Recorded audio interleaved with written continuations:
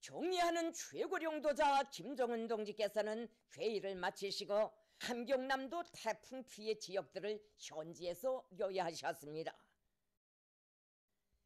경리하는 최고령도자 동지께서는 이번에 입은 해일 피해가 보여주듯이 지금 우리나라의 전반적인 해안연선 지대들의 과학연구 단위들과 항, 부두파게 지적하시면서 이 문제도 장차 우리가 중요한 정책적 과업으로 들고 시급히 대책해야 할 사업이라고 말씀하셨습니다. 자동지께서는 앞으로도 계속 자연인 해일과 태풍 영향으로부터 주력들과 농경지들을 보호하기 위한 영구적인 해안 쿵파제 설계를 전문으로 하는 설계 연구소 등을 동원하여 연차별 계획에 따라 건설해 나가야 한다고 말씀하셨습니다.